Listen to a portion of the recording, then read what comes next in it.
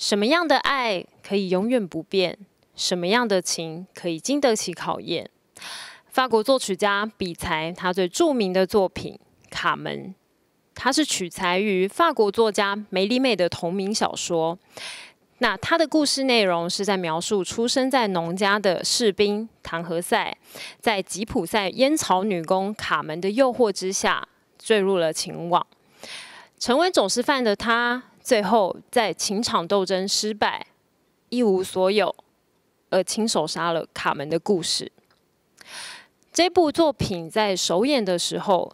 其实它的题材被认为过过于的低俗，再加上歌剧里面的乐曲并不符合呃传统的规则，那被视为是新潮的音乐，所以呃不被观众所接受。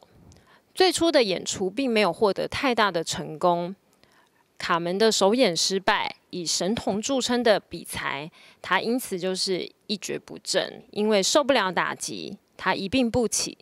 三个月之后，他就过世了。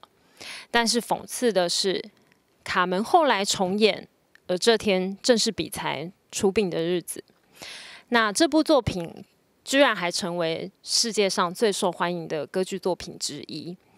许多的音乐家，比如呃圣桑、柴可夫斯基，还有德布西等等，他们都给予这部歌剧非常高的评价。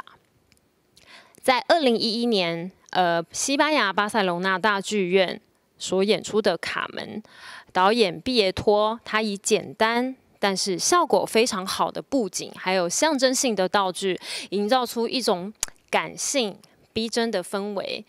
呃，然后由当红的男高音阿兰尼亚所饰演，充满了激情而且有暴力色彩的男主角唐和塞。当他演唱着著名的咏叹调《花之歌》。让观众深刻的感受到唐和塞他对于卡门的迷恋以及他的执着。